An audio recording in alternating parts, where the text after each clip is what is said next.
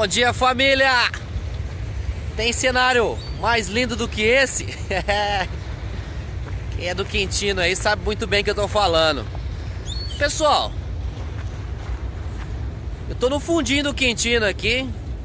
Tem muita gente aí, inclusive, que deveria conhecer e não conhece, né? Pois é. Pessoal, tá mais ou menos limpo aqui. Eu queria pedir gentilmente aí para que a população colabore, meu. E pare de jogar entulho aqui nesse cantinho. A gente tem uns sonhos aí para um futuro próximo.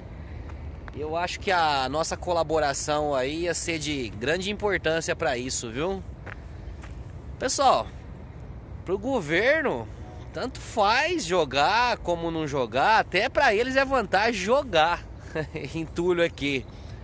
Porque se não tiver entulho e não tiver sujeira, não tem como contratar uma empresa terceirizada para fazer a limpeza.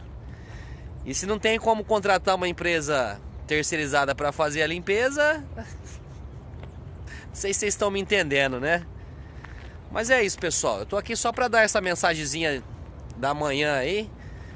Vamos aí devagarzinho aí, mudando esse cenário aqui, né, meu? Eu acho que a gente tem muito a crescer aí como comunidade, uma comunidade já de 40 anos. E eu acho que a gente tem que se juntar para começar a fazer isso, né? Na minha opinião, um fiscal ativo da prefeitura fiscalizando e multando não só as pessoas que estão jogando, mas as pessoas que pagam para jogar esse entulho aqui.